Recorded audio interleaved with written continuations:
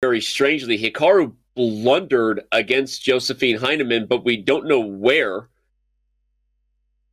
Okay, looks dominating. It- for His last looks move, I guess, dominating. Queen F6. Where just- was it? Just Rover, Queen F6. He, he wanted mate, but he walked right into Bishop Well, G5.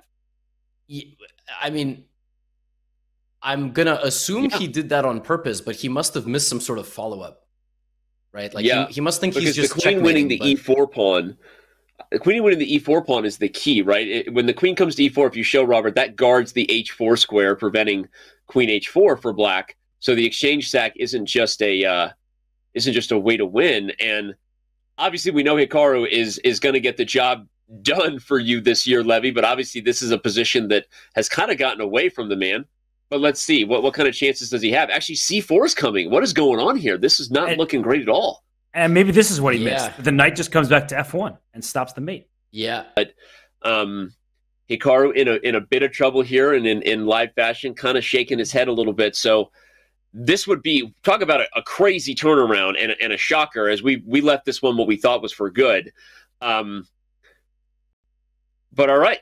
Um, oh no, Liam- yeah, yeah. Sorry, I, the job done. Sorry, guys. I, I I totally forgot that uh, it's been a while since I joined the broadcast. I, I forgot you guys have a board here. I don't have to look at the one on my screen.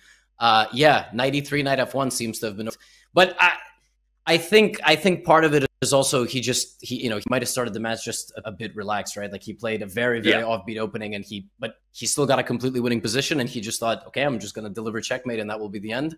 And Yeah. uh, yeah, this is a well, this is a worst nightmare situation, but there's uh there's eight points still to be gained.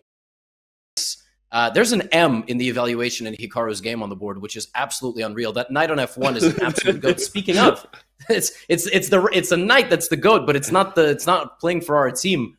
Danny, I mean, I can't I, believe I'm it. I'm shocked. It was it was so funny because like that that script was supposed to go very differently. We were supposed to have international master Levy Rozman talk about recruiting Hikaru, celebrate Hikaru's first victory here, and instead the gloves came absolutely off. The wheels came off. Wow.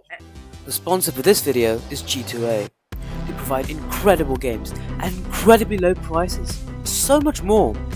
Click on the link in the description to grab some new games today.